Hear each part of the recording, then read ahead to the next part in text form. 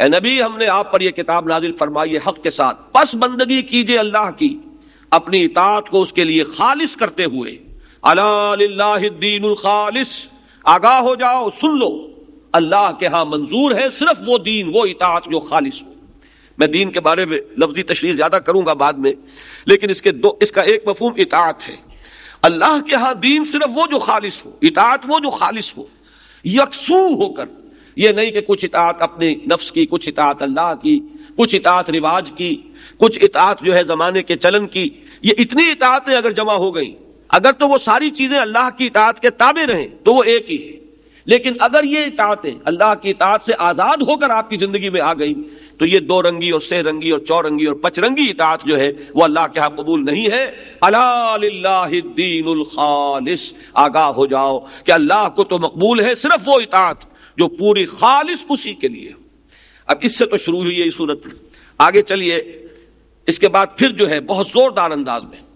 कुल इन्नी उमिर तो अबुदल्लाह मुखलसल्लुद्दीन नबी, इनसे कह दीजिए, मुझे तो यह हुक्म हुआ है कि मैं सिर्फ़ अल्लाह की बंदगी करूँ, उसके लिए अपनी इतात को खालिश करते हुए। वह उमिर तो अकून अव्वल मुस्लिमीन। और मुझे यह हुक्म हुआ है कि सबसे पहले फर्मा बरदारी की रविश मैं खुद इख्तियार करूँ।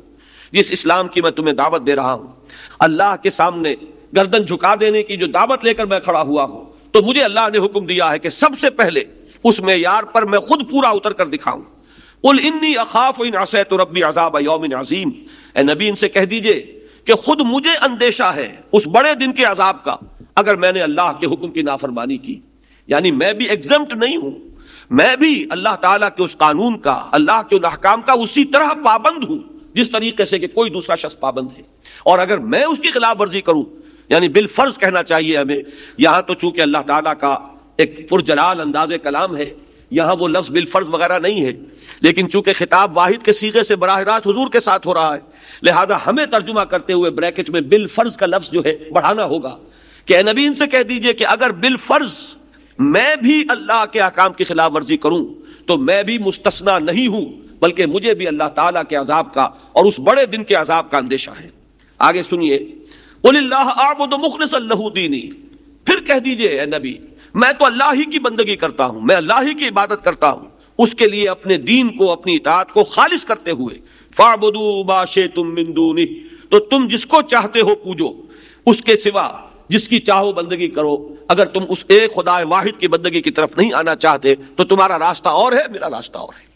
जरा और आगे चलिए, ये सूरह मुबारक जब खत्म होती है, उससे पहले फिर ये मजमून आया है और ये बहुत ही कुरान मजीद का मैं ये अर्ज़ करूँगा कि बड़ा गैर मामूली मकाम है कि यहाँ बड़ा दुरुस्त पर आया है खिताब का, बहुत सख्त अंदाज है। फरमाया, उल, ए नबी, इनसे कह दीजिए अफ़ैर अल्लाह जाहिलून? ए नबी, इनसे कहिए कि जाहिलो, ए नादानू, ए हिरसो हवा के बंदो, एक बात जरा नोट कर लीजिए कि लफ्ज जाहिल जब हम उर्दू में बोलते हैं, उसका मफहम कुछ और है। बल्कि वो मेरे नज़दीक नस्बता हल्का है। अरबी में ये लफ्ज उससे कहीं ज़्यादा शकील मानी में है। उर्दू में हम जाहिल कहते हैं, उस शख्स को जो पढ़ा लिखा नहीं है।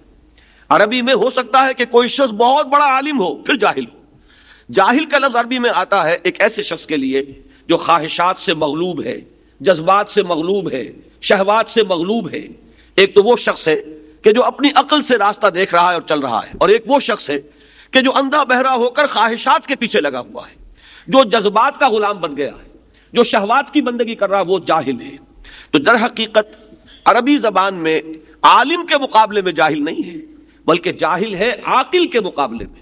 एक वो शख्स है कि जिसकी ज़िंदगी में अक्ल उसकी सूझबूझ, उसके शूर को अपर हैंड हासिल है, जज्बात उसके नीचे है।